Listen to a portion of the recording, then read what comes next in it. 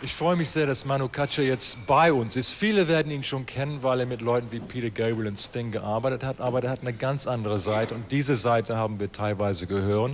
I was just saying, I mean, a lot of people know your name from your work with people like Sting and Peter Gabriel. Some people might be surprised by what they heard this evening for two reasons. Firstly, because it's not the kind of music they would know from what you've done before, but also because it wasn't quite the musicians who were scheduled to play in the program, at least. So perhaps you could tell us a bit about why that changed and who was on sax and Okay. who should have been on sax. Okay, the, the rhythm section was the same, and piano and bass. Uh, the saxophone is supposed to be uh, Trygve Sem, which is from Norway. It's been in the band, it's been playing on the Playground album, and it's been touring with me since, uh, since a while, but he's not here tonight because he's expecting a baby. So, His wife's expecting a baby. yeah, baby. but the, I think he's the same, in the same kind of, you know, uh, atmosphere. So he's at home and he's with, his- with his wife just in case the baby is coming anytime. So when we had uh, those concerts, uh, I said to him, I think Trygve, for your first child, you should be home with your wife. I think it's much better. So then he recommended Petter Wettre, which was uh, here tonight, a Norwegian guy again. And it was his first time. We just rehearsed this afternoon and he played tonight and he played very well.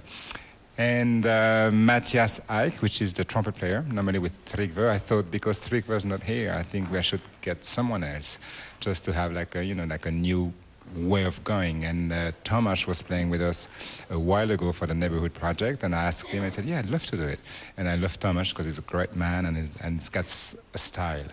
So that's why the the lineup was a little bit different. What differences did you note tonight, having just had the one day to rehearse, the way that it might have sounded if Trygve had actually been here? Let's say tonight it was, of course, I was, I'm not used to play with Petter Wettre on saxophone. I'm a bit more used with Thomas, so I was aware of his playing and where he was going and where he wanted to go. So we had to have the, you know, like ears wide open. Uh, with Trygve and Mathias, we used to play together, so we don't even look at each other. We know just by one note that it's going to go this way. So let's, I wouldn't say it's, it's, uh, it's like a, we used to play together, so it's kind of a, uh, boring after a while. Not at all. It's just like it's very comfortable, and we can sometimes take it a different way. This time tonight, we just like play the themes. They were playing the themes uh, as they were written and uh, with their own style, and uh, and that was it. Do you still do a lot of session work? And if so, what have you worked on recently? I don't do much session. I don't do much artists like rock and pop that I was doing before. I'm just mainly uh, doing my own thing, which is this quintet. I've been releasing, as I said, uh, two uh, solo albums, and plus I'm on uh, Arte doing the One Shot Not TV show. So I'm quite busy with that, and I'm not much, not much time. I'm doing some few sessions in the world, but way less than before. Working on a show like that, which is a very loose concept, presumably not a lot of retakes, probably no retakes, what happens is what happens. Has that had an influence upon the way that you work yourself outside of that show when you're working your own music? Because it can make you loosen up too. that's the opposite. I think I'm so loose that I put that show together loose as well. That's the way I am. Even when I was playing rock, I remember playing with Sting and Peter Gabriel. They were saying, "Manu, you got kind of a jazz attitude. You're very loose." And I think that's what people liked about me. So then it makes sense for me to produce that show in that same vein. When you did that kind of session work, though, to what extent would people just say, do what you think is right for this piece? Or were there people that really wanted you to say, you know, this is the way we want you to do it, can you play it just like that? I guess when I really started, like, I, of course, I, you know, I'm French and I studied in Paris doing uh, session work and touring. I guess people were asking me at the time to play a bit like Jeff Porcaro or a bit like Steve Gadd. And then when I met Peter Gabriel in '86, uh, uh, I remember the, sessions I started doing uh, "Don't Give Up" with the one with Kate Bush, and then uh, "In Your Eyes."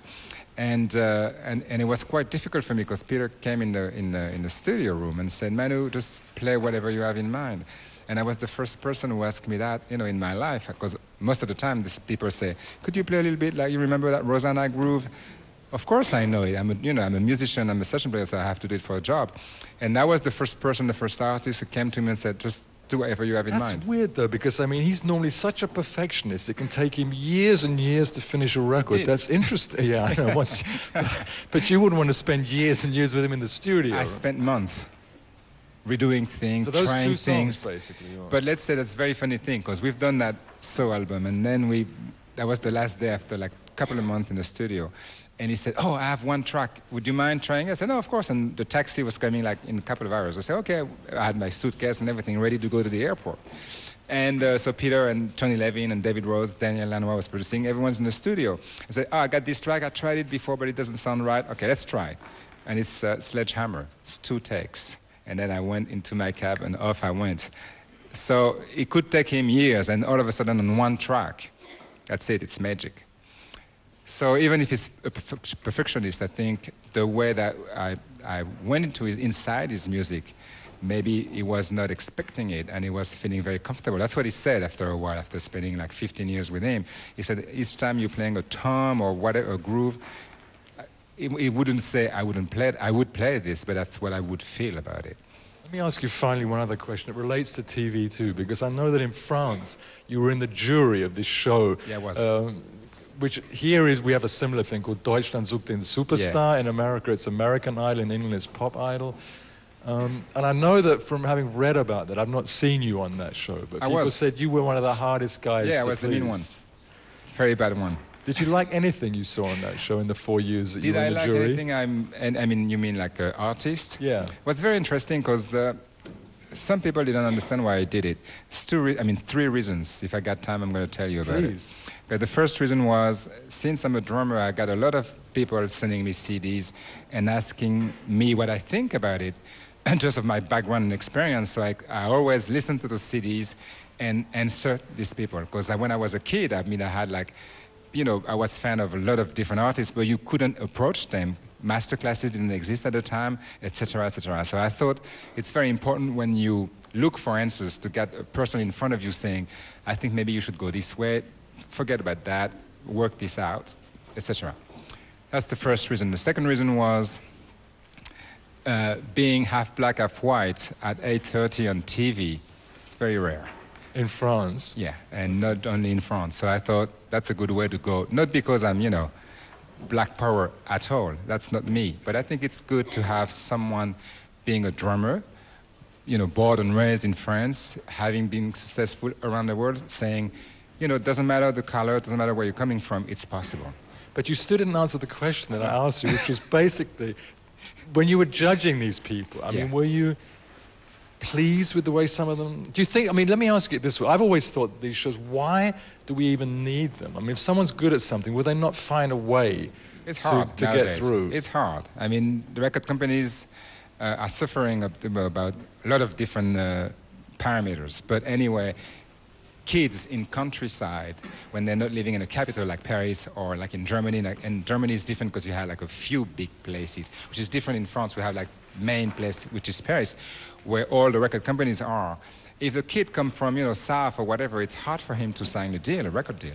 And so even now you got MySpace and YouTube, blah, blah, blah, wonderful, but it's very rare that could be, you know, getting out of the case like that.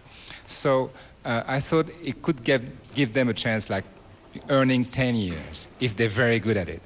Some of them were very, very good, and some of them were just coming to have professionals in front of them saying, what do you think of me? Do you think I should pursue? I think, I, I, think you think I should do it again, or maybe I should leave it and do something else.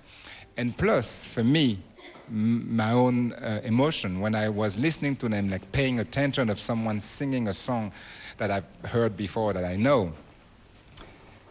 It's hard to say in English, but what I felt was all of a sudden I couldn't judge the vocal technique, but the emotion and sensitivity really appeared to me. And I could find myself, this is very uh, psychological, being playing with him while he was singing this song. And all of a sudden I could judge him by that groove, that sense of moving, etc. And it was, it was quite interesting, plus the fact I had to tell him with his words, not with musician codes which helped me, of course, as what we do today, express what I want to express to you and to other people listening to you, it's obvious that you were the right person for the job because you obviously thought a lot about what you had to do. Thank you very much for talking to us. Thank you, Manu Katché. Thank you.